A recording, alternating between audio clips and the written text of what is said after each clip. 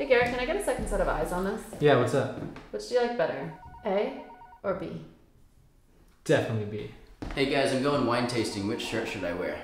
A or B? Definitely A. You know the shirts are exactly the same. Attention to detail. Definitely A.